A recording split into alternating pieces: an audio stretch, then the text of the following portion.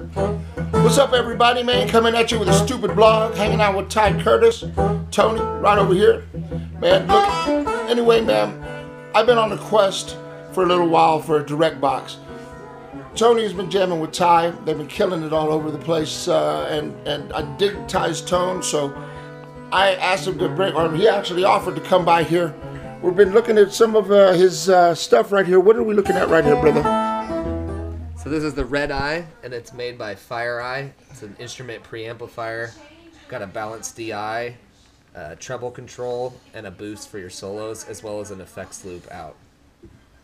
Man, we've been sitting here messing with this for a little bit, man. He's got different conti- uh, configurations and stuff. He's actually uh, also have a tube direct. Some of you guitar players might know what all that means. But man, for me, what I need for the 12 string, man, the red eye, only it's the only thing that I need. I'm gonna carry that, maybe a couple of picks and nine guitars. All right, man. TyCurtis.net, stupiddrama.com, fucking hanging out with T-Bass, Ty Curtis, myself. Nothing but love from the pit, baby. Woo, one soul at a time, yeah.